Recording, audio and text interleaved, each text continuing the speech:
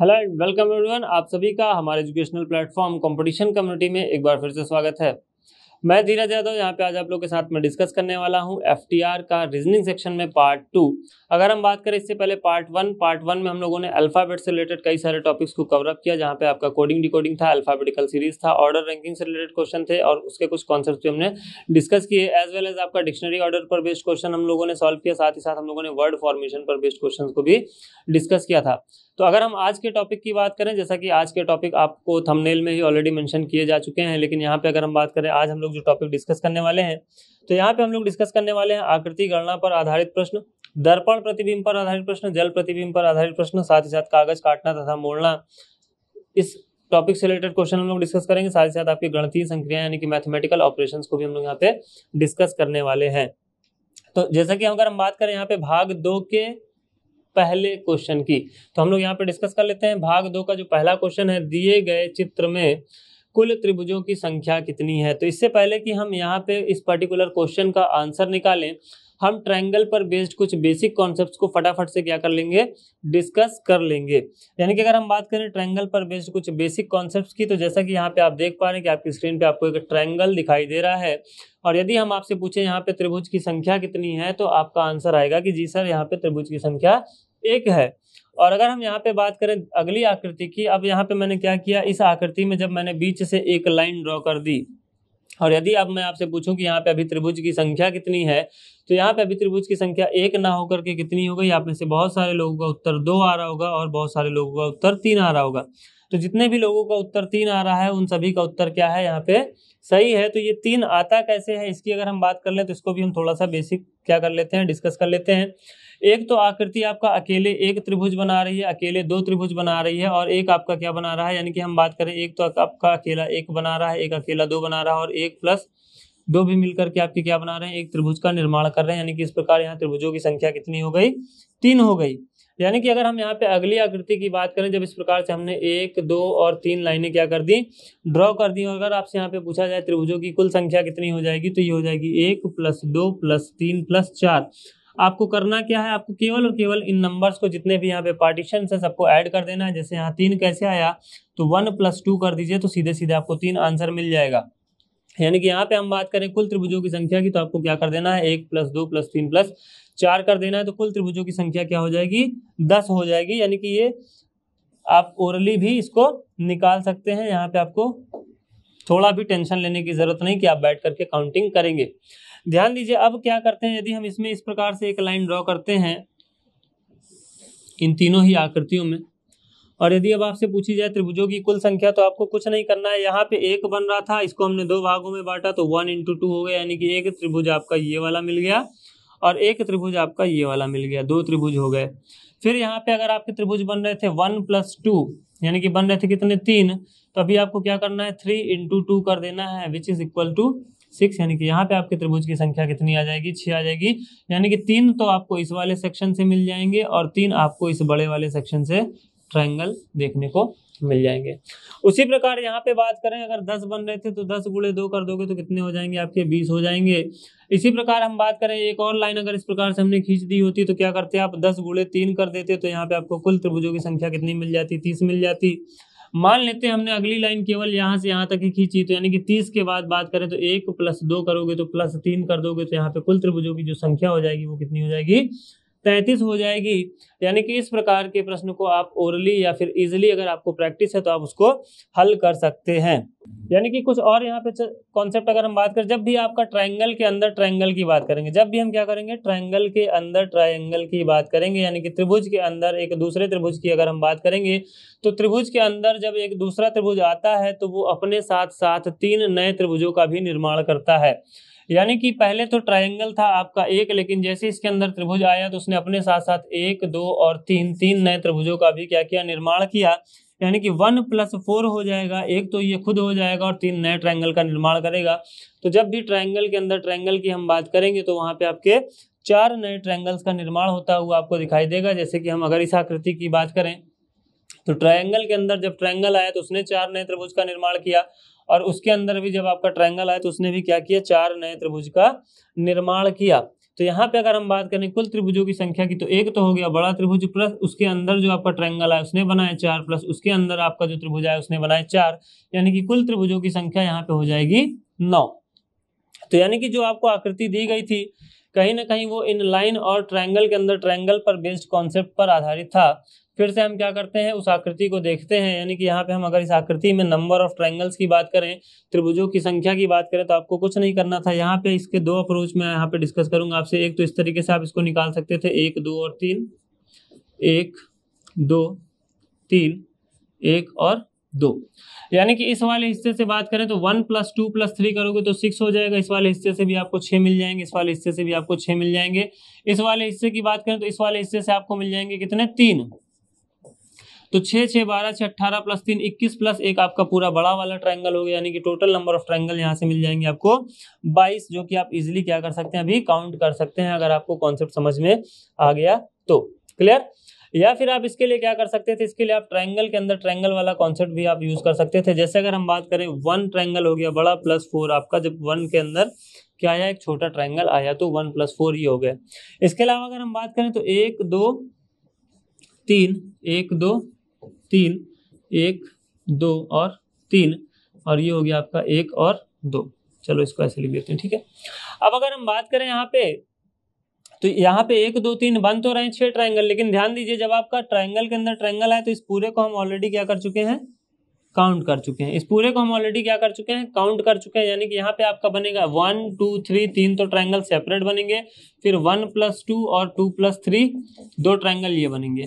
और one plus two plus three वाला आपका ट्रायंगल कंसीडर हम नहीं करेंगे। जो आपके छः बनते हैं तो वो छः ये ट्रायंगल आपके बनते हैं। तीन ये हो गए, दो ये हो गए, एक ही हो गए। तो ये वाला अपने को कंसीडर नहीं करना है, क्योंकि जब ट्रायंगल के अंदर ट्रायंगल आया तो इस फोर में हम इसको ऑलरेडी क्या कर चुके हैं काउंट कर चुके हैं।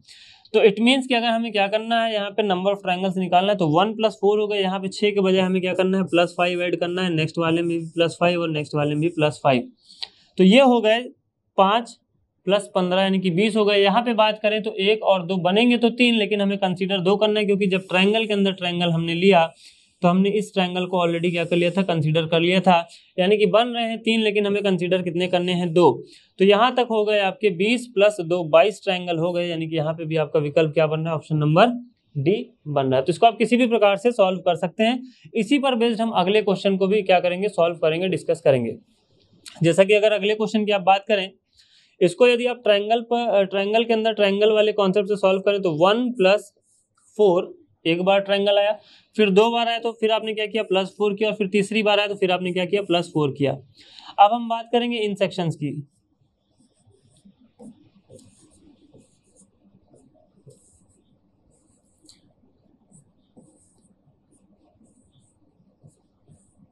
अगर हम इन सेक्शंस की बात करें तो यहाँ पे बन रहे हैं छह, लेकिन हमें कंसीडर करने हैं पाँच, जैसा कि हमने प्रीवियस क्वेश्चन में देखा। इन द सेम वे यहाँ भी हमें कंसीडर कितने करने तो यहाँ भी हमें कंसीडर करने हैं पाँच। इन द सेम वे यहाँ भी हम कितने कंसीडर करेंगे? तो यहाँ भी हम कंसीडर करेंगे पाँच।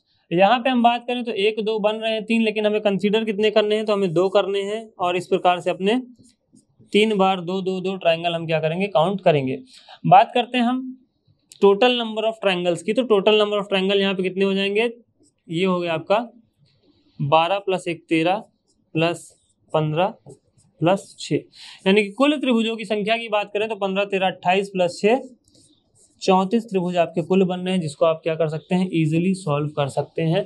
अगर आप कैलकुलेट करके सोचे, बना लें तो कहीं ना कहीं आप मिस्टेक कर जाएँगे। एक तो आपका टाइम ज़्यादा जाएगा, दूसरी चीज़ आप मिस्टेक कर जाएँगे तो नंबर ऑफ़ ट्रैंगल काउंट करने में। क्लियर या कोई भी आकृति दी जाए तो कहीं ना कहीं उसमें क्या होता है, कुछ ना कुछ ट्रिक लग रही होती है। आपके ट्रिक पर बेस्ड क्वेश्चन ही जनरली एग्ज़ाम में आपसे पूछे जाते हैं।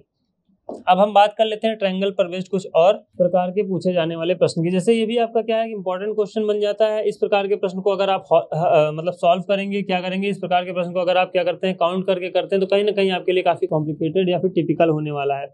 तो यहाँ पे एक बहुत ही आसान सा तरीका है, आप इस प्रकार के क्वेश्चन को कैसे हल कर सकते हैं।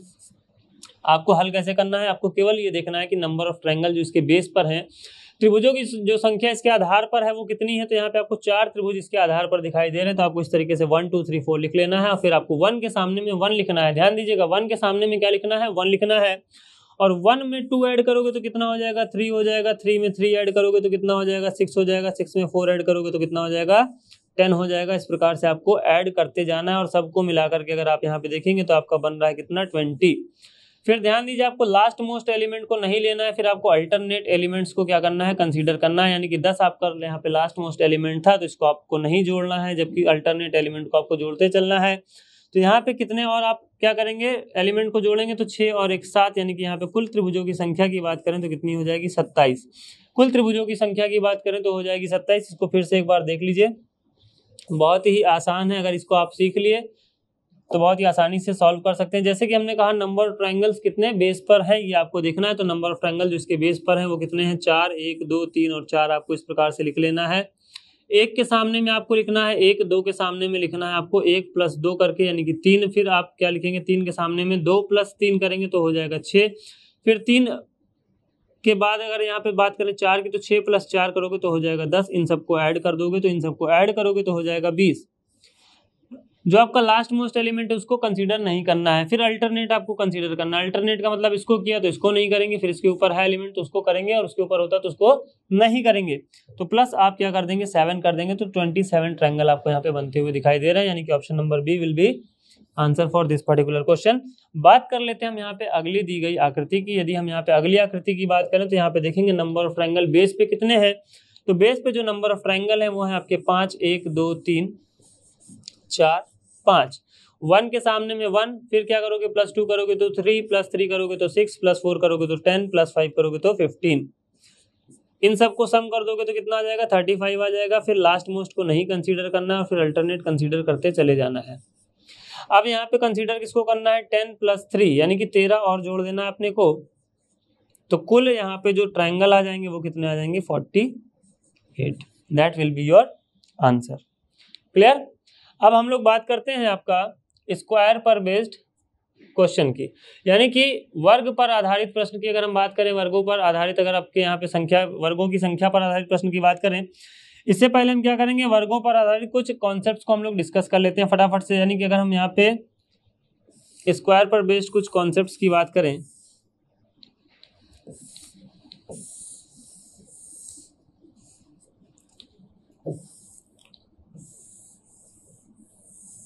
चलिए। स्क्वायर पर बेस्ड हम कुछ कॉन्सेप्ट को क्या कर लेते हैं? डिस्कस कर लेते हैं। जैसे कि हमने कहा,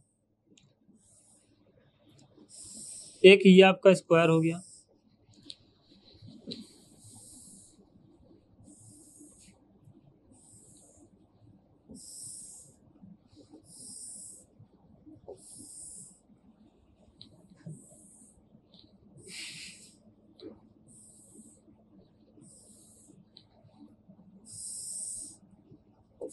एक ये आपका स्क्वायर हो गया।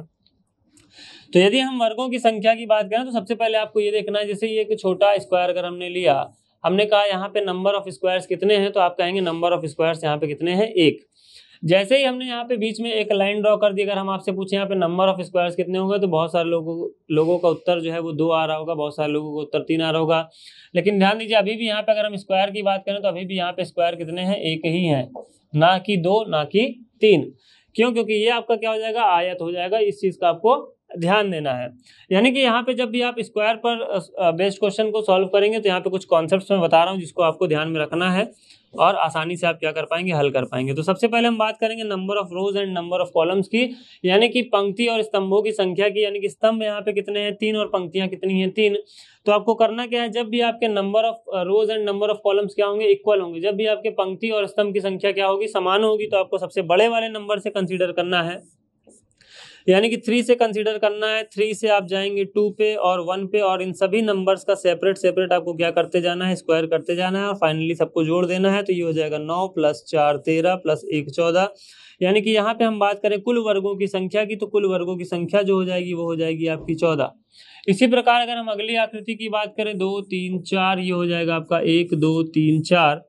तो यहाँ पे मैंने कहा, जब आपकी रोज और कॉलम क्या होंगी, इक्वल होंगी तो यहाँ पे आपको फोर का स्क्वायर करना है, फिर थ्री का स्क्वायर करना है, फिर टू का स्क्वायर करना है, फिर वन का स्क्वायर करना है और सबको जोड़ देना है। तो यहाँ पे चौदह में आप केवल केवल सोलह जोड़ देंगे तो कुल यहाँ पे वर्गों की संख्या कितनी आ जाएगी? तीस आ जाएगी।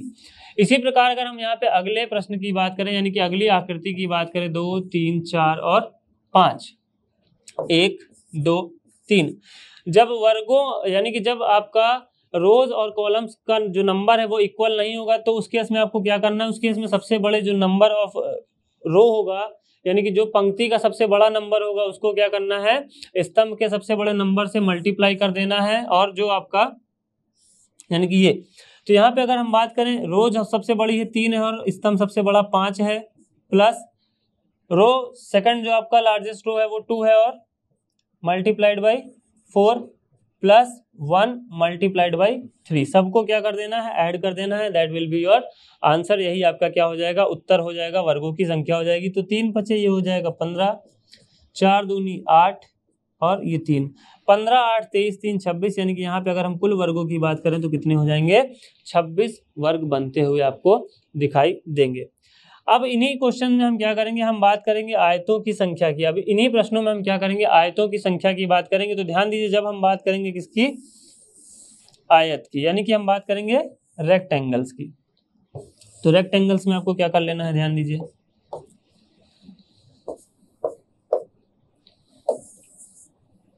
जब हम रेक्टेंगल्स की बात करेंगे तो हमें क्या देखना है? टोटल नंबर ऑफ़ क्वाड्रिलेटरल्स यानी कि हम बात करेंगे चतुर्भुजों की कुल संख्या की। क्योंकि जो आपका रेक्टेंगल होता है, वो रेक्टेंगल आपका स्क्वायर भी हो सकता है। यानी कि स्क्वायर जो आपका है, वो क्या है? एक रेक्टेंगल उसको हम कंसीडर कर सकते हैं, लेकिन एक रेक्टेंगल को हम इस मतलब हर एक आपका जो स्क्वायर उसको हम रेक्टेंगल कंसीडर कर सकते हैं, लेकिन हर एक रेक्टेंगल को हम स्क्वायर में कंसिडर नहीं कर सकते हैं।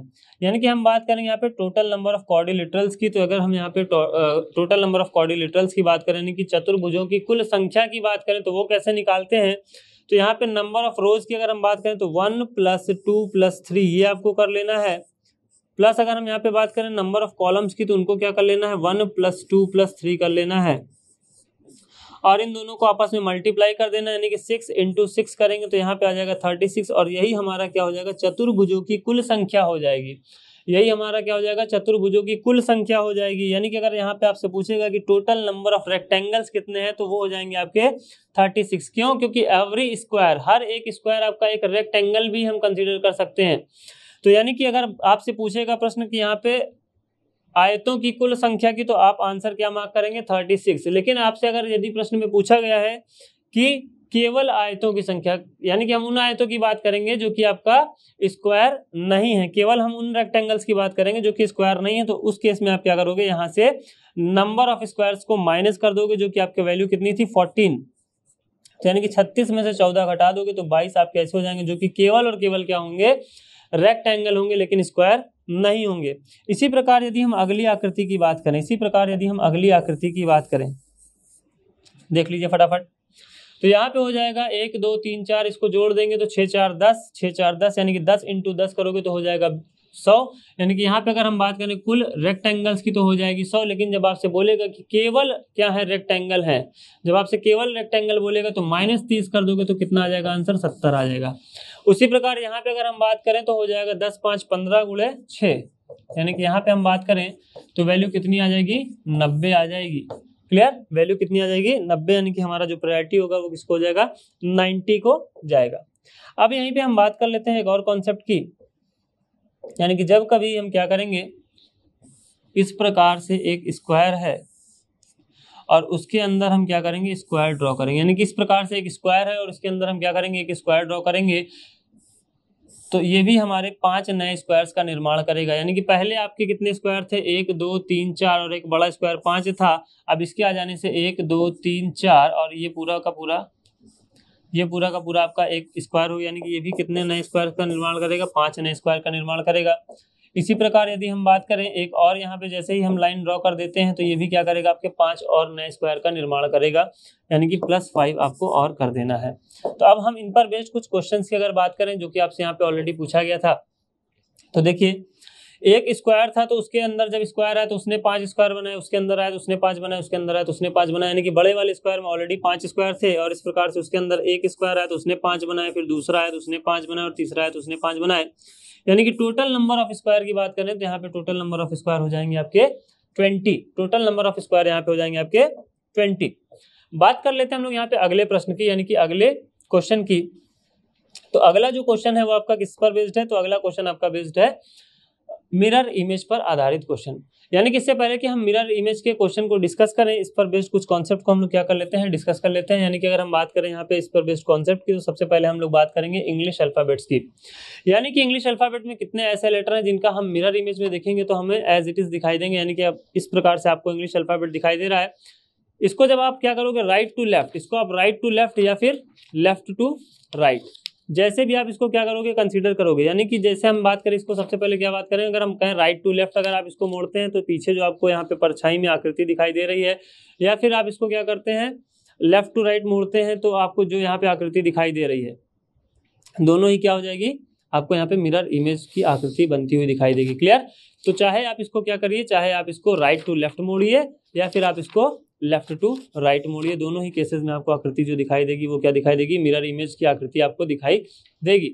तो फटाफट से इसको हम सॉल्व कर लेते हैं। अगर हम बात करें यहाँ पे बनने वाले मिरर इमेज की तो इसका सबका हम क्या बना देते हैं? मिरर इमेज बना देते हैं फटाफट से। A this is your B this is your C this is your D E F G H I J, K, L, M, N, O, P, Q, R, S, T, U, V W X, Y, Z. Clear तो ये हो गया आपका mirror image और इसी पे हम discuss करेंगे वाटर इमेज के बारे में भी। तो ध्यान दीजिए, जैसे कि ये आपके अल्फ़ाबेट थे, इसको जब हम क्या करेंगे? टॉप टू बॉटम इसको हम क्या करेंगे? टॉप टू बॉटम या फिर बॉटम टू टॉप इसको जब हम रोटेट करेंगे तो पीछे जो अपने को आकृति दिखाई देगी, वो क्या हो जाएगा आपका? वाटर इमेज हो जाएगा। तो मैं फटाफट से इनका वाटर इमेज भी यहाँ पे लिख देता हूँ। अगर हम बात करें इसके वाटर इमेज की तो ये हो जाएगा आपका ए ये हो जाएगा B C D E F इसकी अगर हम बात करें तो ये हो जाएगा आपका जी इसकी हम बात करें तो ये हो जाएगा आपका एच इसकी हम बात करें तो ये हो जाएगा आपका आई ये हो जाएगा आपका जे ये हो जाएगा आपका के ये हो जाएगा आपका L this will be your M this will be your N this will be your O P Q R S T U V W X Y and Z clear तो ये हो गया वाटर इमेज अब हमें फटाफट से यहाँ पे देखना है। सबसे पहले हम बात करेंगे मिरर इमेज की। सबसे पहले हम बात करेंगे दर्पण प्रतिबिंब की। तो यहाँ पे आप देख रहे हैं कि ए यहाँ पे आप देख रहे हैं एच फिर आप देख रहे हैं आई फिर आप देख रहे हैं एम फिर आप फटाफट से यहाँ पे देख रहे हैं ओ फिर आप देख रहे हैं यहाँ पे T U V W X and Y Y आपका कंट्रोवर्शियल केस हो जाता है, क्योंकि वाई को अगर हम इस प्रकार से लिखते हैं तो इसका जो मिरर इमेज बनेगा, वो इस प्रकार से बनेगा, जो कि एज इट इज़ नहीं कंसीडर किया जाएगा। बट वाई को अगर आप इस प्रकार से लिखते हैं तो वाई आपका मिरर इमेज और रियल इमेज दोनों सेम कंसीडर किया जाएगा। अब अगर यहाँ पे हम बात करें मिरर इमेज और रियल इमेज में ऐसे अल्फाबेट्स की, जो कि आपके क्या रहते हैं सेम रहते हैं तो यहाँ पे हो गया आपका एक, दो, तीन, चार, पाँच छः सात, आठ, नौ, दस, ग्यारह, यानी कि ग्यारह ऐसे आपके अल्फाबेट्स होंगे, जिनका मिरर इमेज और रियल इमेज दोनों क्या बनता है सेम बनता है। अब हम बात कर लेते हैं वाटर इमेज में सेम रहने वाले अल्फाबेट्स की तो आपका बी हो जाएगा सी हो जाएगा डी हो जाएगा ई e हो जाएगा एच हो जाएगा आई हो जाएगा के हो जाएगा। इसके अलावा अगर हम बात करें तो आपका ओ हो जाएगा, इसके अलावा अगर हम बात करें तो आपका एक्स हो जाएगा। यानी कि यहाँ पे अगर हम नंबर ऑफ़ एलिमेंट्स की बात करें तो एक, दो, तीन, चार, पाँच छः सात, आठ और नौ, यानी कि नौ ऐसे यहाँ पे आपको लेटर देखने को मिलेंगे जिनका वाटर इमेज और एक्चुअल इमेज दोनों क्या होने वाला है?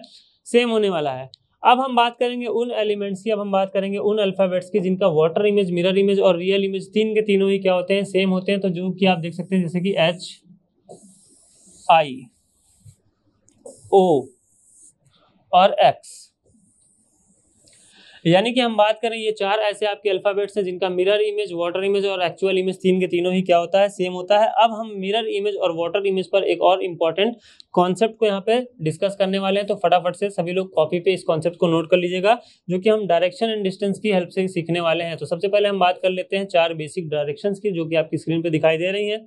और अब हम बात करेंगे चार बेसिक आपके सब डायरेक्शन की, जो कि आपकी स्क्रीन पर आ चुका है। क्लियर अब यहाँ पे डायरेक्शन का रोल किस प्रकार से होता है? वाटर इमेज और मिरर इमेज में, यानी कि इसको डायरेक्शन की हेल्प से हम कैसे सॉल्व कर सकते हैं, उसके बारे में हम यहाँ पे चर्चा करेंगे। और क्यों मैं इतना डिटेल में डिस्कस कर रहा हूँ? क्योंकि ये पर्टिकुलर जो कॉन्सेप्ट है, ये आपका पेपर कटिंग फोल्डिंग हो वाटर इमेज हो मिरर इमेज हो, या फिर आपके अल्फ़ाबेट पर जो क्वेश्चन होंगे नंबर पर बेस्ड क्वेश्चन होंगे, हर एक कॉन्सेप्ट में ये आपको हेल्प करने वाला है। क्लॉक इवन आपके क्लॉक में भी कई बार क्वेश्चन जो आपके बनते हैं वाटर इमेज और मिरर इमेज से, वहाँ पे भी आप इस कॉन्सेप्ट का यूज़ करके बना सकते हैं।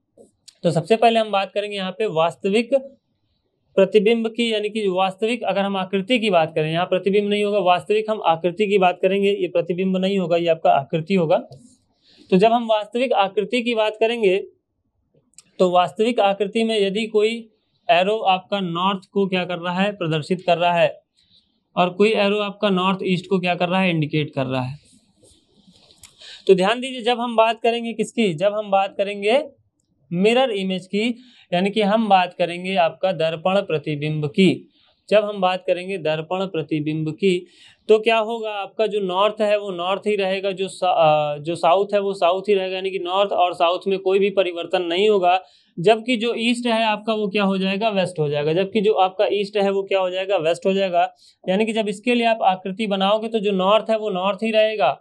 जो नॉर्थ ईस्ट में, यानी कि जो नॉर्थ वाला हिस्सा है, वो नॉर्थ ही रहेगा, केवल चेंज क्या हो जाएगा?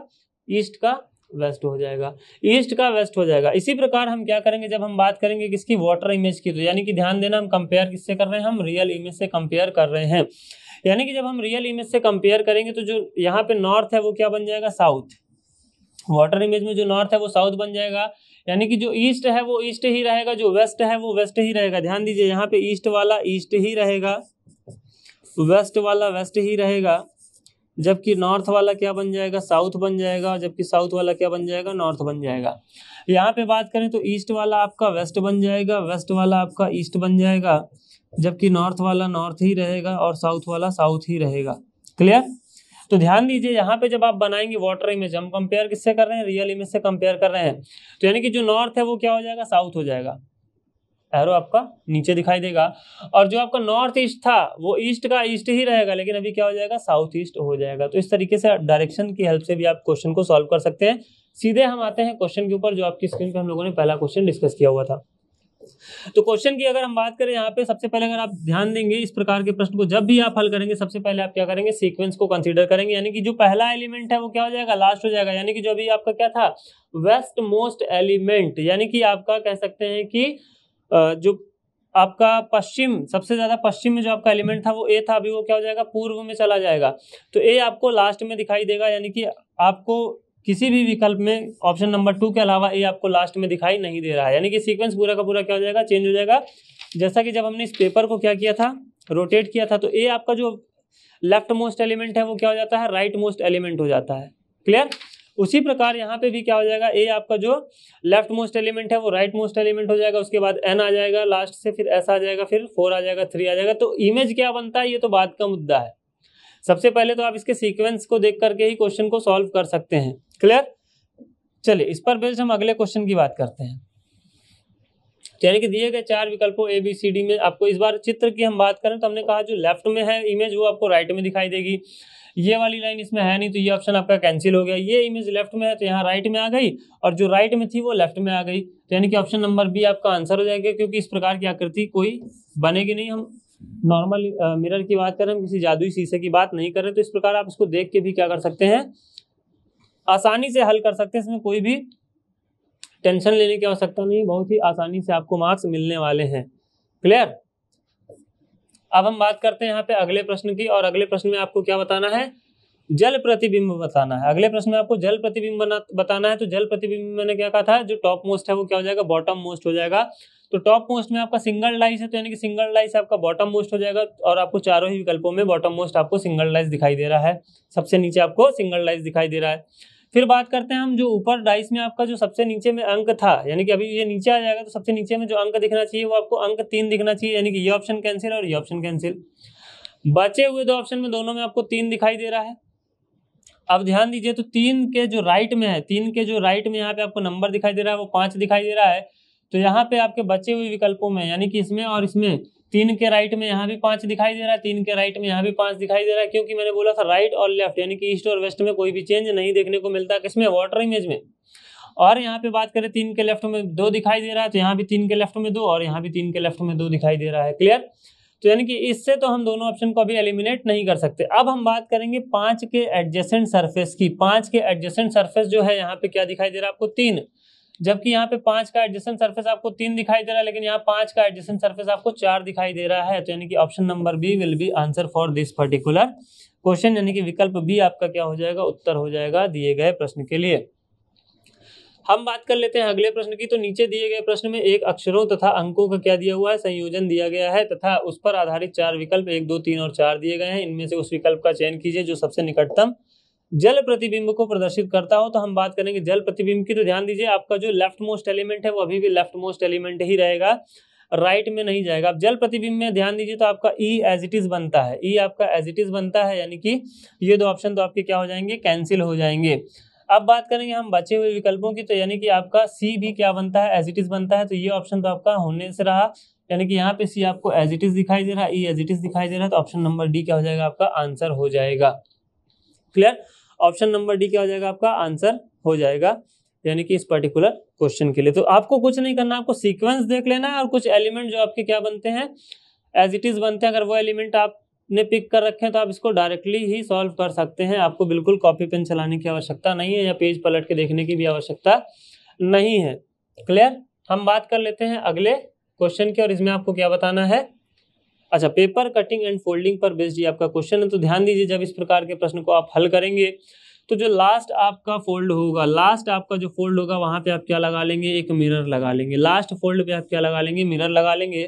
तो लास्ट फोल्ड पे जब आप मिरर लगाओगे, यानी कि आप इस वाले हिस्से को क्या करोगे? ओपन करोगे तो ये वाला हिस्सा बनेगा। और इस वाले हिस्से को ओपन करोगे तो ये वाला हिस्सा बनेगा आपका। तो जब आपने यहाँ पे एक कट लगाया है, इसको ओपन या इसको फोल्ड करके कट लगाया तो अभी सी बात है, इसके पास भी एक कट बना होगा और इसके पास भी एक कट बना होगा। यानी कि मिरर जब आप बनाओगे, यहाँ पे मिरर आप लगा लोगे तो मिरर के पास ये सर्कल है तो ये सर्कल भी कहाँ बनेगा? मिरर के पास बनेगा और ऐसी आकृति आपको केवल और केवल विकल्प सी में दिखाई दे रही है तो यही आपका क्या हो जाएगा? आंसर हो जाएगा। अगर नहीं समझ में आया तो इसको कुछ और हम क्या करते हैं? क्वेश्चंस की हेल्प से सॉल्व करते हैं, समझने का प्रयास करते हैं। जैसे मैंने कहा लास्ट फोल्ड पे आपको क्या लगा लेना है? मिरर लगा लेना है। तो ये लास्ट फोल्ड था लास्ट फोल्ड पे हमने मिरर लगाया। तो मिरर आपका जब लेफ़्ट या राइट में लगेगा तो वो मिरर इमेज को प्रदर्शित करेगा और मिरर जब आपका टॉप या बॉटम पे लगेगा तो आपके वाटर इमेज को क्या करेगा? प्रदर्शित करेगा। तो यहाँ पे जैसा कि मैंने मिरर लगाया इसके राइट में तो मिरर इमेज में क्या होता है? जो कि आपका नॉर्थ है, वो नॉर्थ ही रहता है, जो साउथ है, वो साउथ ही रहता है। चेंज कहाँ होता है? केवल और केवल ईस्ट और वेस्ट में। तो अगर इस हम ट्राइंगल के ये जो एरो है, ये जो पॉइंट ऊपर वाला है, इस पॉइंट को अगर हम देखें तो कहीं ना कहीं आपके नॉर्थ ईस्ट को क्या कर रहा है इंडिकेट कर रहा है तो नॉर्थ तो नॉर्थ ही रहेगा, लेकिन ईस्ट का क्या हो जाएगा वेस्ट हो जाएगा। क्लियर तो अगर आप देखेंगे इस प्रकार तो केवल इतने से ही आपको यहाँ पे विकल्प दिखाई दे रहा है, लेकिन आपको विकल्प बी में भी दिखाई दे रहा है और विकल्प सी में भी दिखाई दे रहा है। तो अब हम रिमेनिंग की बात कर लेंगे। अब रिमेनिंग की बात करोगे तो अगला आपका जो मिरर लगेगा, वो यहाँ पे लगेगा। अगला जो मिरर लगेगा, वो यहाँ पे लगेगा। जब यहाँ पे आप मिरर लगाओगे तो यानी कि मिरर आपने कहाँ लगाया है? टॉप पे लगाया है। जब मिरर आप टॉप पे लगाओगे तो जो आकृति बनेगी, वो कैसी बनेगी? वो बनेगी आपकी वाटर इमेज तो वाटर इमेज की आप बात करोगे जब तो वाटर इमेज मैंने आपको क्या बताया था? चेंज कहाँ होता है? नॉर्थ और साउथ में, यानी कि ईस्ट और वेस्ट आपका क्या रहता है? सेम रहता है। तो यानी कि ये अगर आप ट्रायंगल की बात करोगे तो ये वाला ट्रायंगल आपका कहीं ना कहीं नॉर्थ वेस्ट को इंडिकेट कर रहा है। तो यानी कि वेस्ट का वेस्ट ही रहेगा, लेकिन नॉर्थ का क्या हो जाएगा? साउथ हो जाएगा। तो ये आपका साउथ वेस्ट हो गया। ये आपका नॉर्थ ईस्ट कर रहा है तो ये क्या हो जाएगा? साउथ ईस्ट हो जाएगा। यानी कि इस प्रकार आप देखेंगे तो ऑप्शन नंबर डी आपका क्या हो जाएगा? आंसर हो जाएगा। ऑप्शन नंबर डी क्या हो जाएगा? सही विकल्प हो जाएगा दिए गए प्रश्न के लिए। अब हम लोग यहाँ पे डिस्कस कर लेते हैं वेन डायग्राम पर आधारित क्वेश्चन इससे पहले कि हम वेन डायग्राम पर आधारित प्रश्नों को हल करें हम यहाँ पे देख लेते हैं कि कितने प्रकार से यहाँ पे आपके जनरली वेन डायग्राम बनते हैं और उन पर प्रश्न पूछे जाते हैं। अगर हम बात करें यहाँ पे तो इस प्रकार के 11 वेन डायग्राम को हमने डिस्कस किया है। विद एग्जांपल हर एक डायग्राम के लिए हमने तीन से चार एग्जांपल को कंसीडर किया है और उसके बाद हमने वन बाई वन डिस्कस किया हुआ है पूरे पैकेज में। तो इस प्रकार से आप ग्यारह वेन डायग्राम पर बेसिकली क्या करेंगे? बेस्ट क्वेश्चन आपको देखने को मिलते हैं आपके एग्ज़ाम में। क्लियर तो इस पर हमने उदाहरण भी लिए हुए हैं और यहाँ पे अगर हम बात करें आपके पूछे गए प्रश्न की तो जैसा कि प्रश्न पूछा गया है, निम्नलिखित में से कौन सा आरेख पुरुष, बच्चे एवं पिता के मध्य उचित संबंध को दर्शाता है? तो यानी कि इस प्रकार के प्रश्न में भी कहीं ना कहीं आप गलती करते हैं, बहुत ही बेसिक सा क्वेश्चन होता है, लेकिन फिर भी आप क्या कर जाते हैं? गलती कर जाते हैं। जिसकी वजह से कहीं ना कहीं आपका सिलेक्शन रुक जाता है तो आप गलती नहीं करेंगे, आप प्रैक्टिस करेंगे नंबर ऑफ़ क्वेश्चंस की और यहाँ पे कॉन्सेप्ट को समझने का प्रयास करेंगे। जैसे कि हम बात करें, यहाँ पे बोला है पुरुष, बच्चे एवं पिता तो सबसे पहले ध्यान दीजिए, जितने भी पिता होंगे, वो सभी क्या होंगे? पुरुष होंगे। जितने भी पिता होंगे ऑब्वियस सी बात है, वो सभी क्या होंगे? मेल होंगे। तो यानी कि यहाँ पे जो कमोडिटी वन होगा, वो क्या होगा? कंप्लीटली रिलेटेड होगा कमोडिटी टू से। यानी कि अगर हम किसके संबंध में बात करें? पुरुष और पिता के संबंध में बात करें तो यानी कि एक तो सर्कल के अंदर कंप्लीटली क्या होगा? सर्कल होगा। अब हम बात करते हैं बच्चों की। तो बच्चे आपके क्या होते हैं? मेल भी होते हैं और फीमेल भी होते हैं। लेकिन पिता आपके क्या होंगे? हमेशा मेल होंगे। तो यानी कि अगर हम यहाँ बात करें दिए गए विकल्पों की, अगर आप इस विकल्प की बात करते हैं, आप इस विकल्प की बात करते हैं, आपने यदि इसको मेल कंसीडर कर लिया, इसको फादर कंसीडर कर लिया, इसको चिल्ड्रन कंसीडर कर लिया तो ये दोनों तो ठीक है। ये दोनों तो आपका सही रिलेशन को इंडिकेट करेगा, यानी कि कुछ मेल क्या होंगे, कुछ चिल्ड्रन जो है मेल होंगे, कुछ चिल्ड्रन क्या होंगे फीमेल होंगे। लेकिन कुछ फादर मेल होंगे तो बाकी क्या होंगे? तो गलत हो जाएगा ना भाई ये? फादर सभी के सभी क्या होते हैं? मेल होते हैं। यहाँ पे अगर हम बात करें, इसको यदि आप क्या मानते हैं? मेल मान लेते हैं। इसको यदि आप फादर मान लेते हैं, इसको चिल्ड्रन मान लेते हैं तो ये बात भी गलत हो जाएगी। सभी चिल्ड्रन मेल कैसे हो सकते हैं? क्लियर कुछ मेल भी होते हैं, कुछ फीमेल भी होते हैं। यदि इस वाले की बात करें, इसको हमने क्या मान लिया? यदि इसको हम मान लेते हैं मेल इसको हम मान लेते हैं फादर इसको हम मान लेते हैं चिल्ड्रन तो भाई चिल्ड्रन कब से फादर होने लग गए? ठीक है ना? बच्चा तो बच्चा है ना? बच्चा है तो पिता कैसे हो जाएगा? क्लियर यानी कि यहाँ पे जो आपका सही विकल्प बनेगा, वो बनेगा आपका ऑप्शन नंबर डी तो थोड़ा सा आपको दिमाग लगाना है ऑप्शंस में एक बार रिलेशन को रख करके देखना है। अगर आपका रिलेशन प्रॉपर बनता है सेटिस्फाई करता है, तब तो ठीक है। अदरवाइज़ आप क्या करेंगे? मूव ऑन करेंगे बाकी के ऑप्शंस की ओर। तो यहाँ पे अगर हम अगले प्रश्न की बात करें तो पूछा गया है निम्नलिखित में से कौन सा आरेख फुटबॉलर, पुरुष पुरुष एवं खिलाड़ियों के मध्य उचित संबंध को दर्शाता है? तो फिर से आप क्या करेंगे? वन बाय वन ऑप्शन को पिक करके चेक कर सकते हैं। इसलिए देखिए कैसे, अगर हम यहाँ पे ऑप्शन नंबर ए की बात करें, बोला है फुटबॉलर, पुरुष तो अगर इसको हम फुटबॉलर मान लेते हैं अगर इसको हम मान लेते हैं फुटबॉलर इसको हम मान लेते हैं मेल तो चलो भाई कुछ फुटबॉलर तो क्या होते हैं? मेल होते हैं। लेकिन इसको हम मान लेते हैं प्लेयर तो ये बताओ कुछ फुटबॉलर प्लेयर है। यानी कि प्लेयर मतलब होता है खिलाड़ी, और फुटबॉलर है तो अभी सी बात है, वो खिलाड़ी है। तो यानी कि कुछ फुटबॉलर खिलाड़ी हैं, बाकी के फुटबॉलर क्या है? टेम्परेरी है है ना? ऐसा तो नहीं होगा। अगर वो बंदा फुटबॉलर है तो अभी सी बात है, वो क्या है? खिलाड़ी है। क्लियर अगर आप पढ़ने जाते हैं तो हम आपको एज ए स्टूडेंट ही कंसिडर करेंगे। फिर चाहे आप फ़र्स्ट डिवीज़न लाते हो सेकंड डिवीज़न लाते हो, या फिर फेल हो जाते हैं। आपको हम क्या कंसिडर करेंगे एज अ स्टूडेंट अगर वो बंदा फुटबॉलर है तो उसको हम क्या कंसिडर करेंगे एज अ प्लेयर यानी कि ये सेटिस्फाई आपका नहीं कर रहा है। अगर हम बात करते हैं यहाँ पे दूसरे गिवन ऑप्शन की तो दूसरे ऑप्शन में अगर हम क्या करेंगे, इसको हम फुटबॉलर मान लेंगे तो भैया सारे के सारे जो फुटबॉलर हैं, वो मेल नहीं होते हैं। या इसको हम मेल मेल अगर मान लेते हैं तो सारे के सारे जो मेल हैं, वो फुटबॉलर नहीं होंगे। ऐसा यहाँ पे रिलेशन आपका नहीं बनता हुआ दिखाई दे रहा है। यहाँ पे अगर हम बात करें तो इसको हम क्या मान लेते हैं? यदि हम इसको मान लेते हैं प्लेयर इसको हम मान लेते हैं फुटबॉलर इसको हम मान लेते हैं खिलाड़ी, इसको हम मान लेते हैं फुटबॉलर और कुछ खिलाड़ी क्या होते हैं आपके? मेल भी होते हैं और कुछ खिलाड़ी क्या होते हैं फीमेल भी होते हैं। इसी प्रकार आपके कुछ फुटबॉलर क्या होंगे मेल भी हो जाएँगे और कुछ फुटबॉलर आपके मेल हो जाएँगे, बाकी के फुटबॉलर आपके मेल नहीं होंगे। इसी प्रकार हम बात करें कुछ खिलाड़ियों की तो कुछ खिलाड़ी आपके मेल भी होते हैं, कुछ मेल नहीं भी होते। यानी कि ऑप्शन नंबर सी आपका क्या कर रहा है सेटिस्फाई कर रहा है। ऑप्शन नंबर डी की अगर हम बात करें, इसको आप प्लेयर मानते हैं, इसको आप फुटबॉलर मानते हैं, क्योंकि ये तो यहाँ पे क्लियर हमने कर दिया कि सभी के सभी फुटबॉलर क्या होंगे प्लेयर होंगे। तो ये वाला हो गया। लेकिन यहाँ पे बात करें कुछ प्लेयर क्या होंगे मेल होंगे। तो ऑब्वियस ही बात है, कुछ फुटबॉलर भी तो मेल होंगे, यानी कि यहाँ फुटबॉल और मेल का कोई रिलेशन हमें बनता हुआ नहीं दिखाई दे रहा, इसलिए इस विकल्प को हम क्या कर देंगे? रिजेक्ट कर देंगे। हम बात करते हैं यहाँ पे अगले प्रश्न की। अगले प्रश्न में आपको दिया गया है, सूर्य, ग्रह एवं पृथ्वी आपका पूछा गया क्वेश्चन है, यदि इसकी हम बात करें तो यहाँ पे भी कई बार आप गलती करते हैं। यानी कि आप सूर्य को क्या कंसीडर कर लेते हैं? ग्रह कंसीडर कर लेते हैं और इस प्रकार आप ऑप्शन नंबर ए को मार्क करके चले आते हैं, जो कि आपको सबसे पहले दिया गया ऑप्शन है। यानी कि इसको आपने मान लिया ग्रह, इसको आपने मान लिया सूर्य और इसको आपने मान लिया पृथ्वी। जैसे ही आपने ये किया, गए आपके मार्क्स क्लियर तो सूर्य को हम क्या कंसीडर करते हैं? अगर हम बात करें ऑप्शन नंबर बी की तो सूर्य को हम एक तारा कंसीडर करते हैं, यानी कि पृथ्वी क्या हो जाएगा? ग्रह हो जाएगा। यानी कि ये क्या हो जाएगा? आपका प्लेनेट ये हो जाएगा आपका अर्थ और ये हो जाएगा आपका सन। सन आपका अलग है। सन आपका प्लेनेट से अलग है, यानी कि सन क्या है? आपका एक स्टार है। तो यहाँ पे ऑप्शन नंबर बी जो होगा वो करेक्ट आंसर होगा आपका पूछे गए प्रश्न के लिए। अगर हम बात करें अगले प्रश्न की तो इस प्रकार से भी आपसे प्रश्न पूछे जाते हैं एग्ज़ाम में और कई बार आप इन क्वेश्चन में भी क्या करते हैं मिस्टेक करते हैं, जो कि काफ़ी ईजी होते हैं। यदि हम बात करें इस प्रश्न में तो कहीं ना कहीं लैंग्वेज का बहुत इंपॉर्टेंट रोल होता है। यहाँ पे भी आपके, और ऑलरेडी मैं बता चुका हूँ कि रीजनिंग सेक्शन में आपका लैंग्वेज का बहुत ही इंपॉर्टेंट रोल होने वाला है। तो यहाँ पे जैसा कि आप देख पा रहे हैं कि ट्रायंगल जो है, वो एक्टर्स को कहीं ना कहीं इंडिकेट करते हैं, और यहाँ पे स्क्वायर जो है, वो आपका डांसर्स को दर्शाता है सर्कल जो है, वो आपका म्यूजिशियंस को दर्शाता है, और जो आपका रेक्टेंगल है, वो सिंगर्स को क्या करता है, दर्शाता है। अब आपसे प्रश्न में पूछा गया है अब आ, कौन सी जोड़ी अभिनेता को सूचित करती है जो कि नर्तक है? यानी कि अभिनेता जो क्या है नर्तक है तो अभिनेता की बात करें तो ट्रायंगल नर्तक की बात करें तो स्क्वायर। तो अगर हम बात करें एच की अगर हम बात करें एच की तो एच क्या है आपका? अभिनेता भी है ट्रायंगल में भी है और स्क्वायर में भी है यानी कि नर्तक भी है। यदि हम बात करें के की तो के आपका क्या है? अभिनेता भी है डांसर भी है और क्या है? म्यूजिशियन भी है। हम बात करें जी की तो जी क्या है आपका? एक्टर है डांसर है म्यूजिशियन है और सिंगर भी यानी कि गायक, संगीत संगीतज्ञ है, नर्तक है और अभिनेता भी है। बात करें हम एफ़ की तो एफ़ आपका क्या है? ट्रायंगल में भी आता है स्क्वायर में भी आता है और रेक्टेंगल में भी आता है। तो ध्यान दीजिए, आपका जो यहाँ पे एच है, जो एच है, वो क्या है? ट्रायंगल में भी आ रहा है, यानी कि वो एक्टर भी होगा एज वेल एज डांसर भी होगा। क्लियर फिर अगर हम बात करें यहाँ पे के की तो के आपका क्या होगा? एक्टर भी होगा डांसर भी होगा, और सर्कल में आ गया तो म्यूजिशियन भी होगा।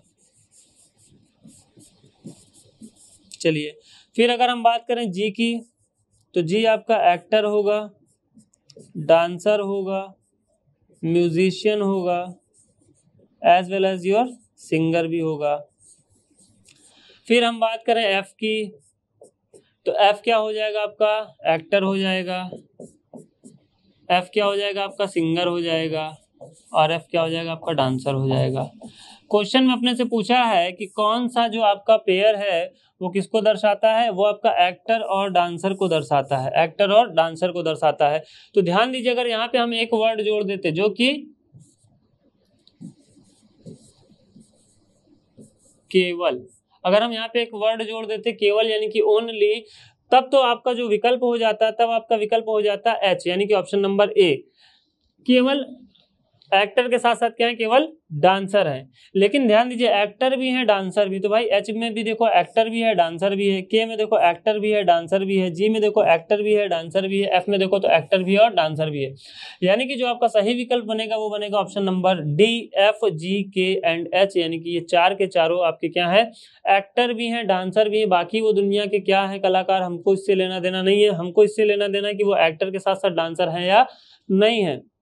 तो हम बात करें वो एक्टर भी और डांसर भी, इसलिए यहाँ पे जो आपका विकल्प बनेगा, वो बनेगा ऑप्शन नंबर डी लेकिन यहाँ पे जब अगर आपका ओनली शब्द जोड़ देता, तब आपका जो आंसर बनता, वो क्या बनता? आपका आंसर बनता ऑप्शन नंबर ए तो लैंग्वेज पे विशेष ध्यान देना है आप। चलिए, अब हम बात करते हैं अगले प्रश्न की। तो सबसे पहले हम क्या करेंगे? वही रूल फॉलो करेंगे, यानी कि हम बोर्ड मॉस का रूल ही क्या करेंगे? यहाँ पे भी फॉलो करेंगे। तो सबसे पहले अपने को क्या कंसिडर कर लेना है? भाग वाले को कंसिडर करना है। और यहाँ पे अगर आप देखेंगे तो आपको लिखा हुआ है, मिल रहा है कि गुड़े का अर्थ भाग है। गुड़े का अर्थ भाग है तो यहाँ पे आप क्या कर देंगे? डिवाइड कर देंगे। यानी कि सिक्सटीन डिवाइडेड बाई टू करोगे तो ये वैल्यू हो जाएगी एट अब आपको क्या कंसिडर करना है? अब आपको मल्टीप्लाई वाला कंसिडर करना है, लेकिन यहाँ पे डिवाइड का मतलब क्या दे रहा है आपको? तो डिवाइड का अर्थ हो जाता है प्लस, यानी कि प्लस क्या करोगे? ट्वेंटी फाइव करोगे। फिर यहाँ पे प्लस का मतलब दे रहा है माइनस, और यहाँ पे लिखोगे सेवन और माइनस का मतलब दे रहा है आपको मल्टीप्लाई इंटू फोर यानी कि ये वैल्यू हो जाएगी आपकी ट्वेंटी एट तो ये हो गया eight plus twenty five minus twenty eight clear तो यहाँ पे आठ और पच्चीस लोगे तो क्या हो जाएगा? तैंतीस हो जाएगा। आठ और पच्चीस लोगे तो तैंतीस। तैंतीस में से आप अट्ठाईस घटाओगे तो सीधे सीधे आपको आंसर क्या मिल जाएगा? पाँच, यानी कि ऑप्शन नंबर बी आपका क्या हो जाएगा? आंसर हो जाएगा। बात कर लेते हैं हम अगले प्रश्न की। यदि हम अगले प्रश्न की बात करें तो यहाँ पे भी हम क्या करेंगे? बोर्ड मॉस का रूल ही फॉलो करेंगे। तो यहाँ पे आपको दिया है, सबसे पहले हम क्या करेंगे? भाग किसका अर्थ है? तो यहाँ पे प्लस का अर्थ क्या दे रहा है आपको? भाग से यहाँ पे दिया जा रहा है, यानी कि प्लस का मतलब क्या हो जाएगा? भाग, यानी कि यहाँ पे हो जाएगा आपका डिवाइड तो 12 से 12 को जब तीन से डिवाइड करोगे तो ये वैल्यू हो जाएगी चार, फिर डिवाइड का अर्थ है माइनस यानी कि हो जाएगा माइनस वन माइनस का अर्थ यहाँ पे आपको दे रहा है मल्टीप्लाई इंटू क्या करना है? फाइव से करना है और इंटू यानी मल्टीप्लाई का अर्थ क्या दे रहा है? प्लस दे रहा है। तो देखिए, चार माइनस पाँच गुड़े एक करोगे तो पाँच हो जाएगा और प्लस क्या कर देना है? आपको दो कर देना है। तो चार में से पाँच घटाओगे तो माइनस का एक हो जाएगा और प्लस का दो हो जाएगा। तो माइनस का एक और प्लस का दो तो बचेगा क्या? प्लस का एक बचेगा। यानी कि ऑप्शन नंबर सी क्या हो जाएगा? आपका सही विकल्प हो जाएगा दिए गए प्रश्न के लिए। हम बात कर लेते हैं आज के सेशन के लास्ट क्वेश्चन की। तो यहाँ पे आपको दिया हुआ है six into seven equals to two three into five equals to five and five into eight equals to zero तो इसकी एक्चुअल वैल्यू हम देखें तो ये हो गया बयालीस जिसको आपको लिखा हुआ मिल रहा है दो, इसकी एक्चुअल वैल्यू देखें हम पंद्रह, जिसको आपको लिखा हुआ मिल रहा है पाँच, इसकी एक्चुअल वैल्यू देखें तो हो गया चालीस, जिसको आपको लिखा हुआ मिल रहा है ज़ीरो पूछा क्या है? सेवन इंटू फाइव जिसकी एक्चुअल वैल्यू क्या होती है? थर्टी फाइव तो यहाँ पे देखें तो इसका लास्ट डिजिट इन्होंने ले लिया है, इसका लास्ट डिजिट ले लिया है और इसका भी लास्ट डिजिट ले लिया है। तो क्या आपको पाँच एक विकल्प देखने को मिल रहा है? जी हाँ आपको पाँच एज ऑप्शन देखने को मिल रहा है तो यहाँ पे जो आपका आंसर हो जाएगा वो हो जाएगा फाइव तो कहीं ना कहीं आपको बस केवल और केवल थोड़ा सा फोकस्ड रहने की ज़रूरत है, थोड़ा सा आपको प्रैक्टिस करने की ज़रूरत है कहीं और जो आपका ये सेक्शन है क्वालिफाइंग सेक्शन है तो आप इसको इजीली क्रैक कर सकते हैं। बस आप बने रहिए हमारे साथ, हमारे सेशन आपको बैक टू बैक मिल रहे हैं। अगला सेशन जल्दी आपको, आपके यूट्यूब चैनल पर मिल जाएगा तो आज के लिए इतना ही, मिलते हैं नेक्स्ट सेशन में। Thank you